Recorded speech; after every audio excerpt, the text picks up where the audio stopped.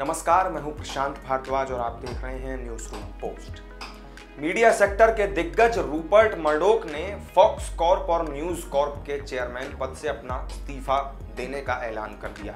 इस बाबत उन्होंने अपने स्टाफ मेंबर्स को भी एक मेमो भेजा है।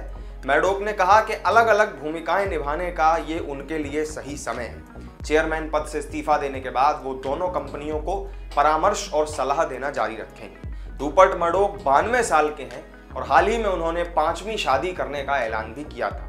रूपर्ट मर्डोक करीब 70 साल से मीडिया सेक्टर में एक्टिव है। उन्होंने करीब 50 साल पहले द सन को एक टेबलॉइड के रूप में लॉन्च किया था। उन्होंने यूके में लाइव फुटबॉल देखने के तरीके में रेवोल्यूशन वो लेकर आए थे।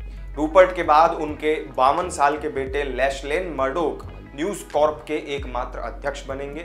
इसके अलावा वो फॉक्स कॉरपोरेशन के कार्यकारी अध्यक्ष और मुख्य कार्यकारी अधिकारी भी बने रहेंगे।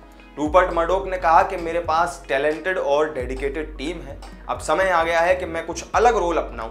अब लैशलेन, जो एक भावुक और सिद्धांतवादी लीडर हैं, वो दोनों कंपनियों के एकमात्र अध्यक्ष बनेंगे। मेरी कंपनियों की स्थिति मेरी ही तरह मज़बूत है। मैं अपनी पूरी प्रोफेशनल लाइफ में रोज़ाना न्यूज़ और आइडियाज़ के साथ व्यस्त रहा हूँ, लेकिन ये बदलने वाला नहीं।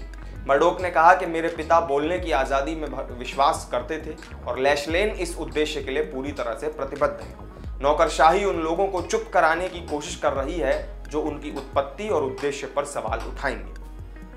मडोक का कहना था कि हमारी कंपनी एक समुदाय की तरह है और मैं इसका सक्रिय सदस्य हूँ। न्यूज़पेपर्स और वेबसाइटों और किताबों को पढ़ूँगा और विचारों, सुझावों और सलाहों के साथ आप तक ज़रूर पहुंचूँगा।